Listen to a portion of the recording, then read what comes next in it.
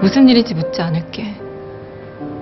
그건 널 걱정한다거나 봐줘서가 아니라 너 때문에 내 머릿속이 혼란스러워지는 게 싫어서 그래.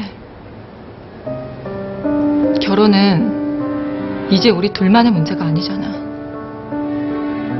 친구였을 땐 네가 어떤 거짓말을 하든 어떤 여성 편력을 자랑하든 아무 상관없었지만 지금은 달라.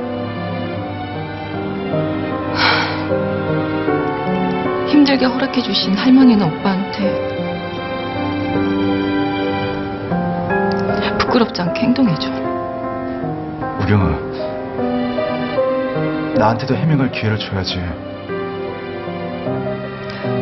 해명은 앞으로 천천히 해줘. 말 말고 행동으로. 먼저 일어날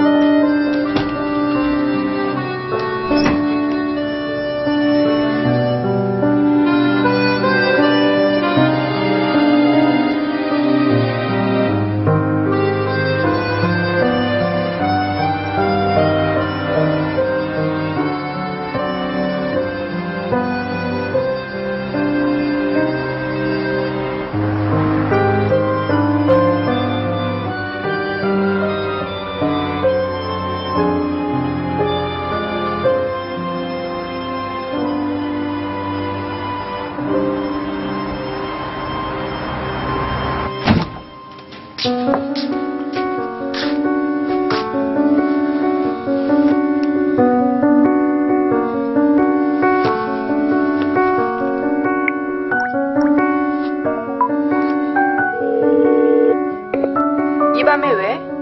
너 혹시 내 제 립스틱 누구 갔어? 두고 간 게 아니라 일부러 떨어뜨렸어. 둘이 잘 안 만나나 봐. 이제야 발견한 걸 보면. 야 장혜령, 너 정말 미쳤어?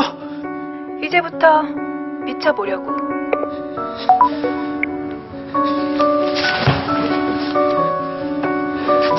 아니 대체 이게 무슨 일이냐? 얘얘 저 흥분 깔아앉히고 얘기를 해. 립스틱이라니. 그 여자 얘기야? 일부러 그랬나 봐요. 우리 애가 그거 봤어요. 뭐? 정말 어떻게 수습해야 될지 모르겠어요. 야, 저그 애가 그 보통이 아니구나. 일단 저 넌 가만히 있어. 좀 더 생각을 해보자.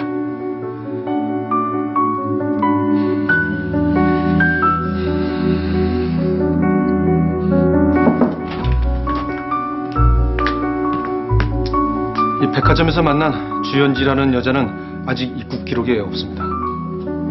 그래? 그럼 둘이 연락을 하는지 아닌지 알 수가 없다는 거네.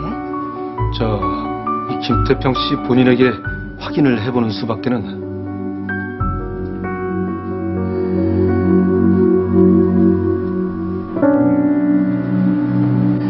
저번에 보강하려고 했던 보고서는 잘 돼가고 있냐?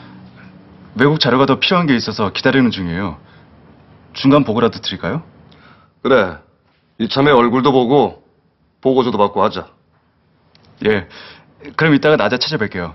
그래, 알았다.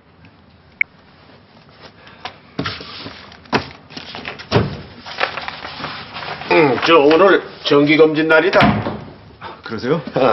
같이 나가세요. 아버지 병원에 모셔야 드리고 유 회장님 뵈러 가면 되니까요. 차 먼저 준비할게요. 그래라.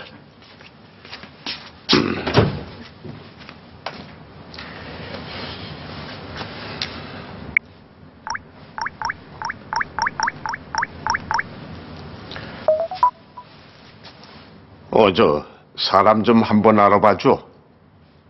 장혜령이란 여자야.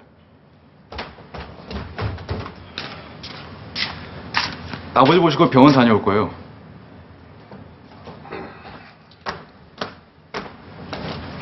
어, 검사를 깨끗이 된다니까 좀 늦을 거야.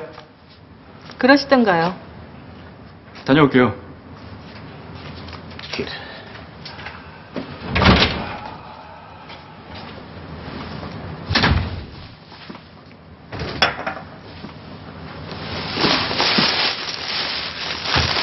오늘은 이만 퇴근해요.